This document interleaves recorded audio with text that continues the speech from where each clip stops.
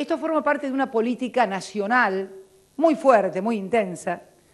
Eh, desde el año 2003 a la fecha hemos creado nueve nuevas universidades y si uno observa el crecimiento de la matrícula de estas nuevas universidades, muchas en el conurbano bonaerense, estamos hablando de Quilmes, de 3 de Febrero, de San Martín, de General Sarmiento, de La Matanza, el crecimiento de la matrícula de estas universidades ha sido de más del 15%.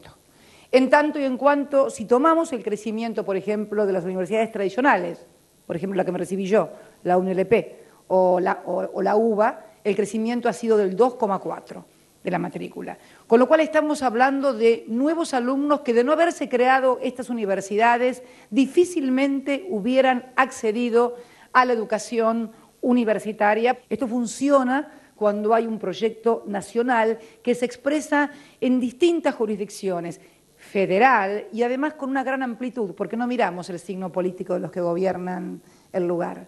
Eh, no nos ha pasado así en otros momentos de la vida institucional del país, pese a lo que se, a lo que se dice. Quien gobierna hoy Tierra del Fuego es un partido político que no es el de la presidenta. Y sin embargo, hemos dado beneficios a Tierra del Fuego, tal vez como nunca se habían dado en toda su historia. En el día de hoy que estamos celebrando esta designación de rector de la nueva universidad de eh, la provincia de la Tierra del Fuego y también la constitución del Fideicomiso Austral para obras de infraestructura que se suma a la política global que el Gobierno ha llevado, lleva y seguirá llevando para profundizar un modelo que ha generado una mejor calidad de vida que la que tenían los argentinos antes de este Gobierno. ¿Qué falta? Sin lugar a dudas, nunca va a ser suficiente.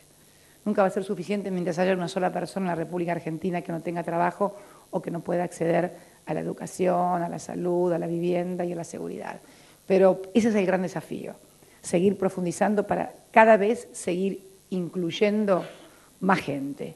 Trabajo y educación, los dos pilares que permitieron que la Argentina fuera la protagonista de la movilidad social ascendente más importante en todo el continente eh, latinoamericano y que tuviera además índices de desarrollo eh, de alfabetización y de lo que ustedes quieran ver más importante que, otros, este, que otras regiones.